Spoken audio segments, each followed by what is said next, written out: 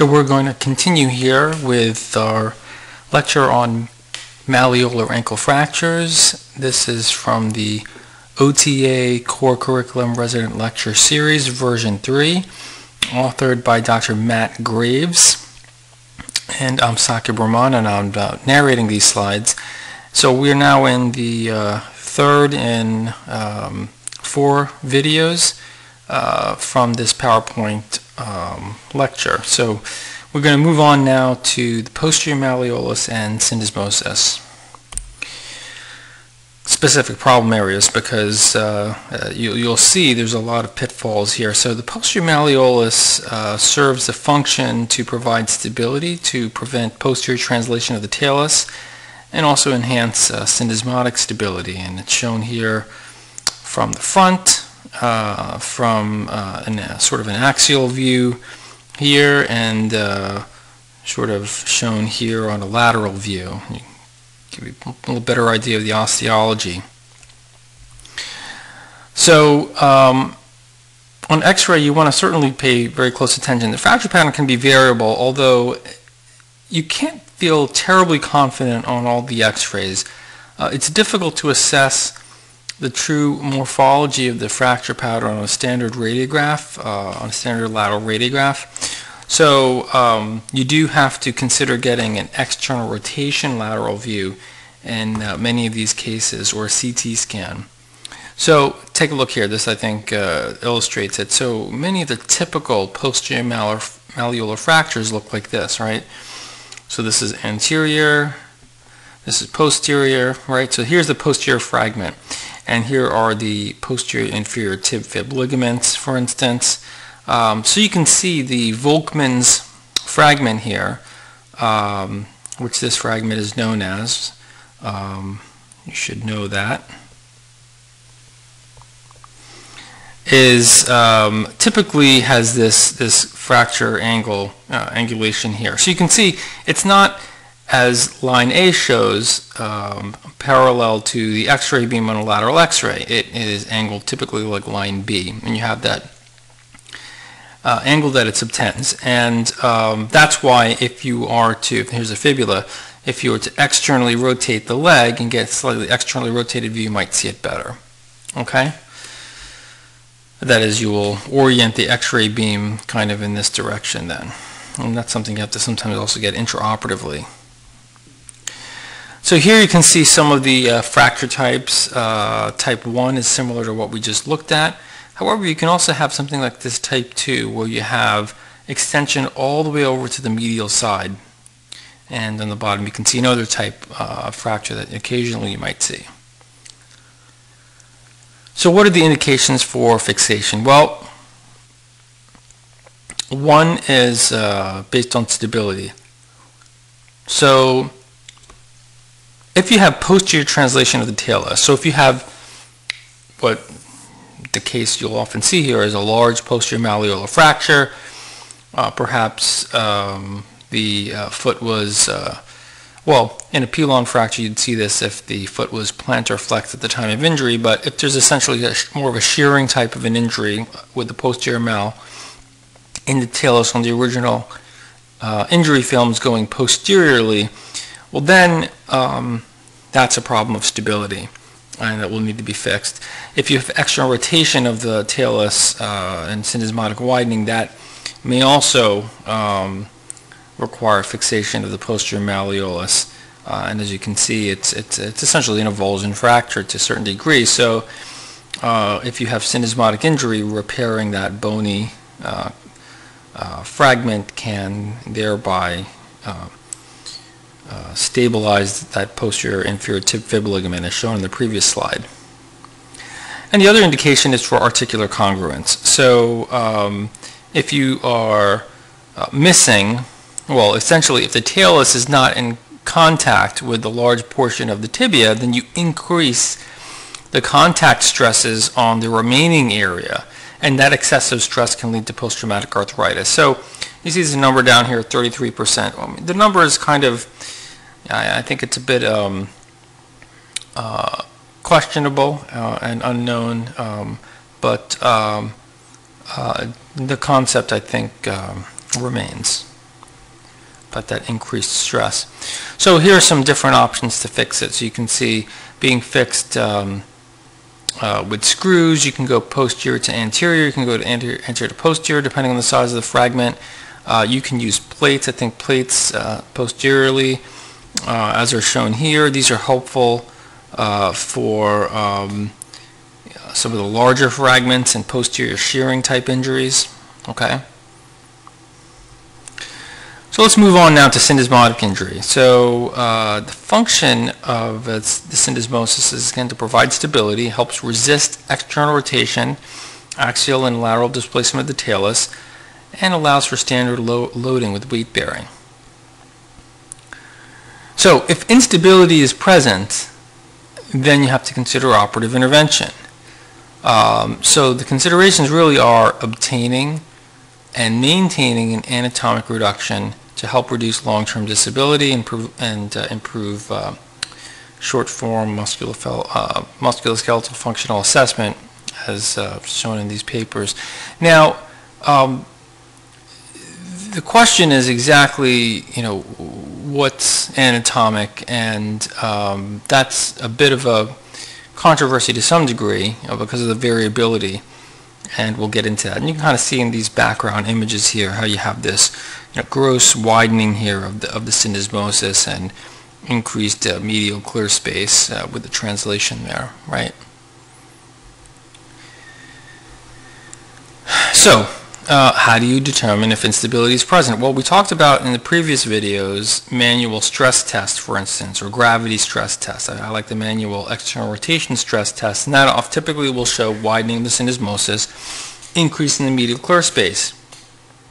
So when do you perform it? Well, I mean, if you're trying to indicate, for instance, does the patient have an SER2 or a ligamentous SER4 with otherwise um, normal appearing syndesmosis on static films, well then you may need to do a manual stress test if you want to know if there's significant um, syndesmotic injury. Um, but intraoperatively, what you do is you, you typically you, you fix the other fractures. Let's say you fix the medial side, you fix the lateral side, uh, and then you do a stress. You got to remember, you got to do this before you leave the operating room um, and not find out later on that you have medial clear space widening and opening of the syndesmosis. Uh, you, after you fix everything, you do that uh, external rotation stress test. Another test some surgeons will do is you know the Cotton test, where you laterally translate the uh, fibula and see if there's widening. So what about obtaining an anatomic reduction, or how do you get a reduction? Well, um, you know, typically uh, this can be uh, you know, done with clamps, can be done open. We'll get into that. One of the questions uh, used to be, uh, do you have to dorsiflex when you do your reduction? So keep in mind that the talus is wider anteriorly than posteriorly. Okay? So if it's wider anteriorly, you would imagine as you dorsiflex and bring the anterior part of the talus into the mortise, then that will um, you know, cause you know, stress or uh, you know, stress upon the syndesmosis. Therefore, many surgeons always felt that you should always uh, uh, do the syndesmotic reduction and fixation in dorsiflexion.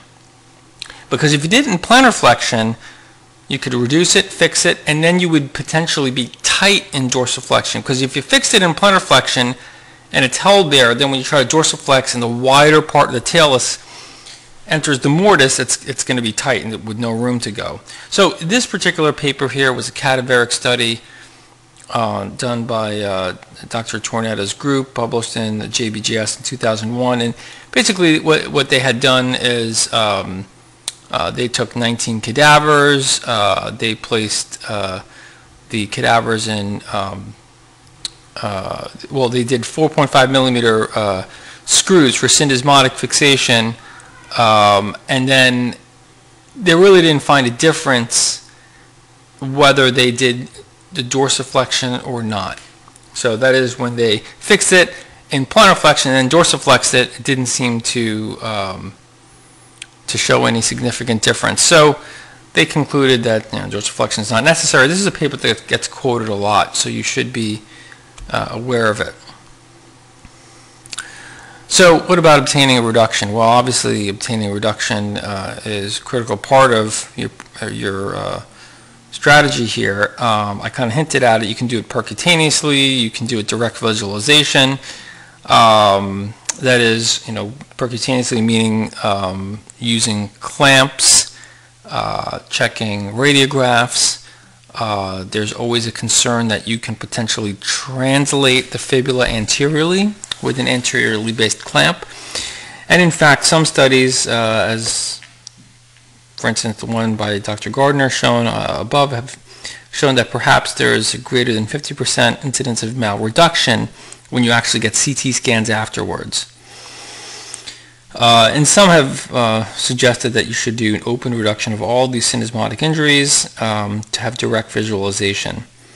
Uh, radiographic imaging in multiple planes can be helpful, as can 3D imaging if you have like uh, the ability to get that 3D um, C-arm images, for instance, that can help show you tomographic type images to understand how the fibula is sitting, uh, like on an image like this. These are actual CT scans, but if you have the capability, some people can get these type of images in the OR. But what this is actually showing is that um, these are two uh, normal ankles uh, and just showing the anatomic variability. I mean, look how, you know, in this one patient, this is, you know, this highly sort of uh, curved, almost round syndesmosis, and then, you know, here's this other person's syndesmosis. So there's a lot of variability. So it becomes a little bit hard to really recognize, you know, what's not really anatomic. Now, there's actually been some very recent papers showing that even though um, there's some variability also in you know how the post-reduction x-rays look like uh, and what we think might be non-anatomic, clinical results have not necessarily shown that to correlate with uh, having uh, worsening outcomes. That is, we may be overthinking this a little too much. That is, uh, yes, getting a good redu reduction is important, but uh, there is variability uh, and uh, those reductions we think may be potentially imperfect don't necessarily seem to correlate with uh, having poorer outcomes. So this is still a bit of a uh, bit of a controversial topic. So um, so again, after getting a reduction, you want to make sure you can maintain the reduction, okay? So this is the next important thing, and uh, there's a lot of ways to do this. So, uh, you know, screws are the most common way to do it.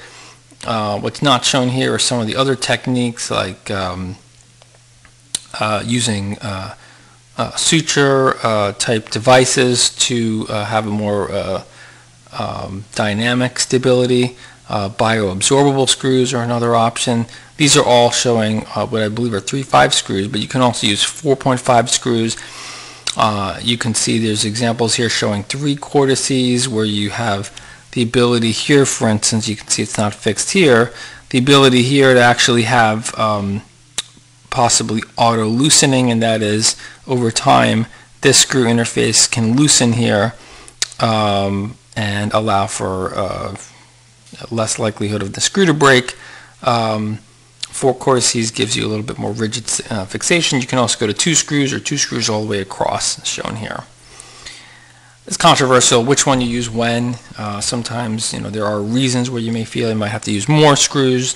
Diabetic patients, I think, is a good example. And, and where to place the screw, too. So, typically speaking, you really shouldn't place it directly through the cartilage usually right above the syndesmosis, uh, within about a uh, centimeter or two uh, is the uh, ideal location.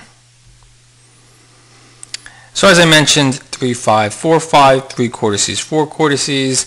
Uh, another uh, controversy is whether you should retain or remove them. Um, and I won't really get into uh, the rationale behind all that. There's studies to support both ways, metallic versus bioabsorbable. So here's a case actually of um, syndesmotic malreduction. You can see it's, I would hope you can recognize fairly obvious uh, case. You can see clearly something's not right here, something's not right here. It looks a little bit wide in either, in either place. Um, you can see that there's uh, most likely some uh, malreduction here. Um, And here you can see with revision fixation uh, and comparing the ankle to the contralateral side. And what I'm showing you is that uh, on this lateral and on this axial, you can see the fibula is a little bit too anterior. And on the lateral, you can recognize that too. The fibular shadow is, you know, coming all the way out here. Um, and here you can see on the normal side where the fibular, uh, you know, fibula should be sitting. So it's just a little bit off uh, in the other view. And uh, here you can see uh, some improvement in the reduction on the uh, bottom images. All right, so uh, I'm going to pause there and uh, we'll pick up with the uh, surgical goals, outcomes, complications in our final video of this PowerPoint. Thank you.